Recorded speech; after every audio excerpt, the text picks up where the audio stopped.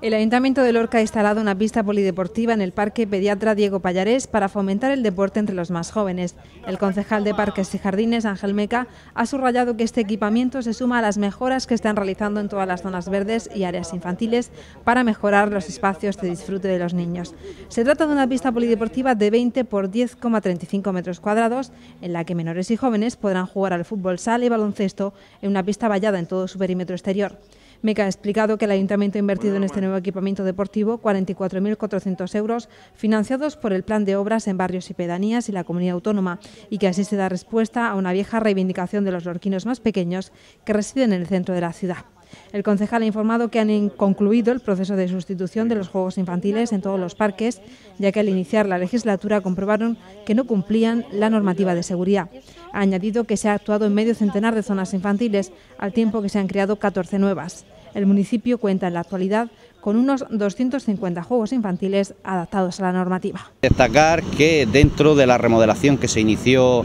hace dos años en cuanto a la adaptación, en cuanto a las medidas de seguridad de todas lo que eran nuestras zonas o áreas infantiles dentro de los parques, esta es la culminación ya prácticamente de todas esas áreas, se ha actuado aproximadamente sobre 47 parques y como he dicho el resultado ha sido muy bueno. Eh, decir también que se han incorporado más de 200 nuevos eh, juegos infantiles a estos parques y que con la culminación ya de este área, de esta zona deportiva dirigida a los más pequeños, hemos dado por finalizada lo que es la, la adaptación de todas las áreas de juegos infantiles a la normativa existente